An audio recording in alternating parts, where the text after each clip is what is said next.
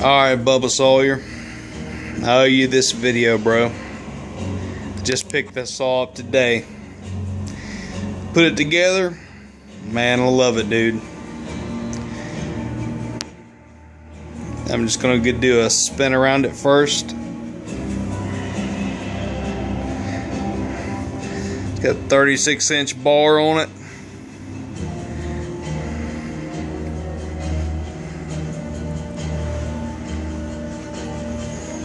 Got the, uh, the saw is family script on it.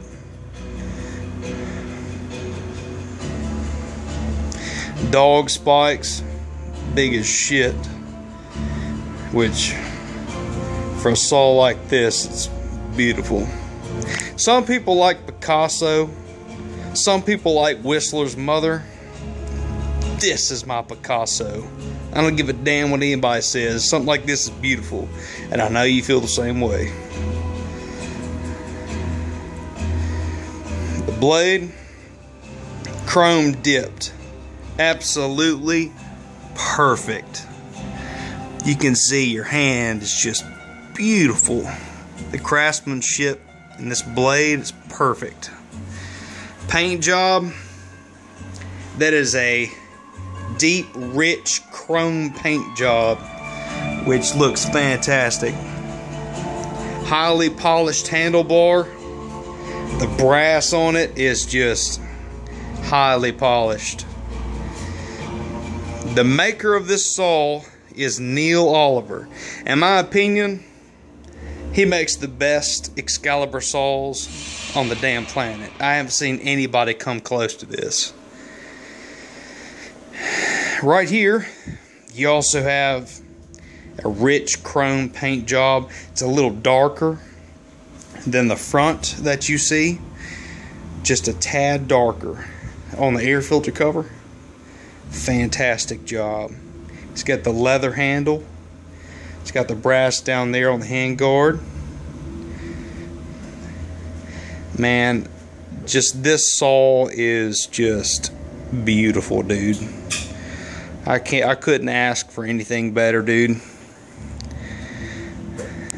I had to add the black rose, a little bit of the uh, floral pattern. Man, it just looks badass, dude. This is, as you can see here, that's the plaque, the Excalibur Tinker Special Edition. Um, Neil only built one of these.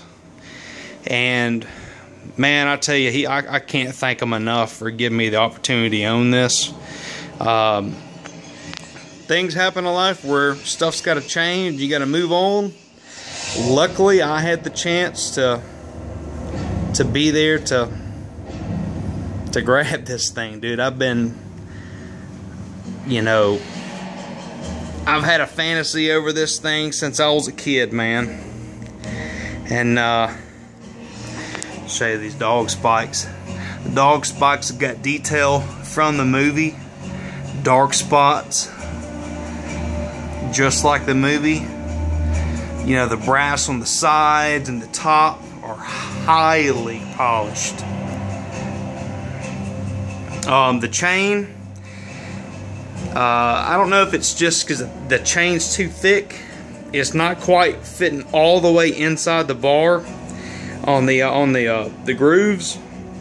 So I'm gonna go with uh, a thinner chain, and I'm also gonna skip skip links.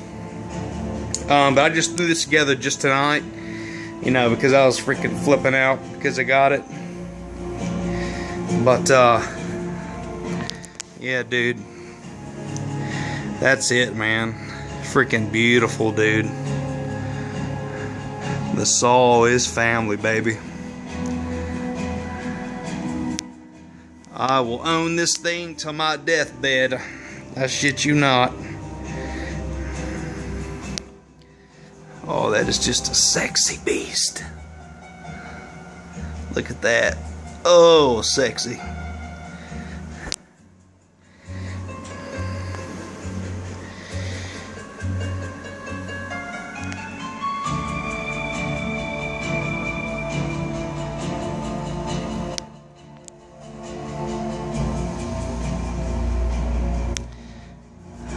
Muffler extremely ported.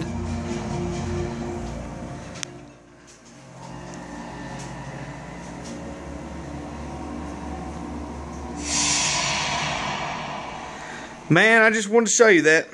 That's just the beginning video. The uh, the actual bar on it, that's uh, Neil Oliver's one-off bar. That's his design. Right now, it's uh, a pattern that's stuck on. Right now, is in the works of actual uh, in doing engravings. Uh, the blades are so hard; it's it's it's been kind of tough from what Neil said to get it just right, but it's finding other methods to get a deep, you know, a deep polished look inside the bar. And supposedly those are going to be ready soon. As soon as those are done, they're going to send them to the chrome shop, and bet your ass I'm going to be grabbing one of those because that's going to finish this thing off perfect. But uh, just want to get your uh, thoughts on it, man, and see what you what you thought, dude. I mean, even the bottom of it is even that chrome paint job. So everything about it's mint.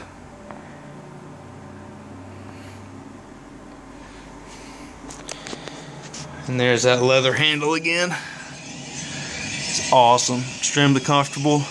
On-off choke. All that.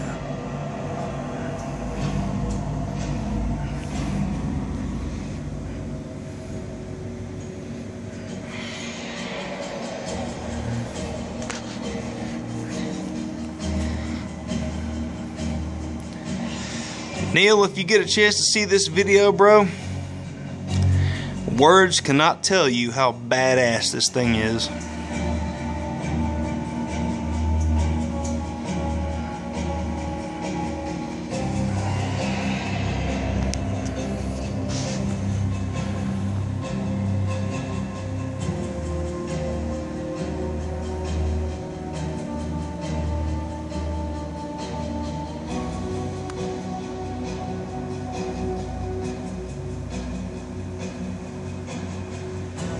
Anyways, I just wanted to show you that. Um, I'm gonna make more videos once I change a couple things. But uh, please let me know what you think, dude. You know, I'm thrilled to have this thing. But uh, hopefully I get some feedback from anybody who sees this video. Thanks a lot.